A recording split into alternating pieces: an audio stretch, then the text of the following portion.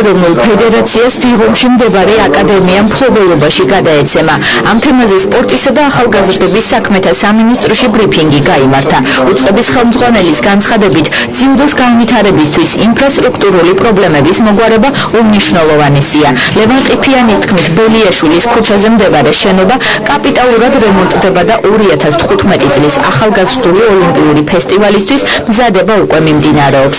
აღნიშნული ინიციატივა მიმდინარე წლის 13 ივნის პრემიერ-მინისტრმა სპორტსმენებთან შეხვედრის დროს გამოთქვა. ირაკლი ღარიბაშვილმა ძიუდოისტებს 2014 წელს მიღწეული წარმატებაც მიულოცა და ფედერაციას სახელმწიფოს მხრიდან თანადგომა გამოუცხადა. ჩვენ მოინახულებ და ვიცით რომ 2015 წლის ძიუდოს ამჟამინდელი ვასაყუდელი დიღმის ბაზა რემონტდება და 2015 წლისთვის 2015 წლის ახალგაზრდული ფესტივალისთვის მზად იქნება სულული არის რომ ეს დარბაზი გადაეცეს ფედერაციას და იყოს ჯიუდოსი ჯიუთოს ასე ვთქვათ ხელში.